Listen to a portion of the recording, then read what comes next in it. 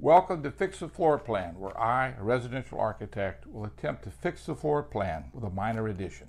Today's episode is brought to you by 1970s Developer Ranch. It has four bedrooms and two and a half baths. So, what are the issues? First, the kitchen, separated from the living room with a wall. Two, the kitchen itself is too big and too small. There's no place for guests to stand and help in the kitchen.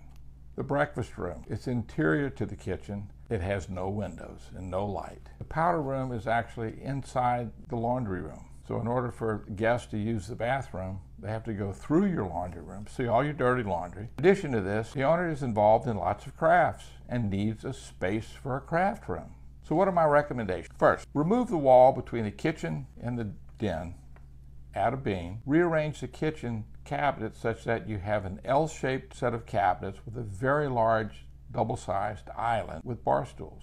Relocate the breakfast room to a five-foot addition to the den, which will give you lots of windows facing the backyard and light. The utility room. Add a wall and divide the powder room completely from the utility room. Add a door from the same hallway to the utility room and rearrange the functions. Add windows to both the powder room and the utility room on the exterior wall, bringing in natural light to these two spaces. Finally, for a craft room. Enclose the breezeway that separates the house from the garage. Put in windows for natural light.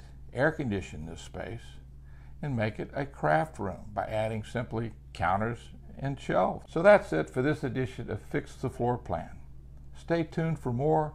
They are endless.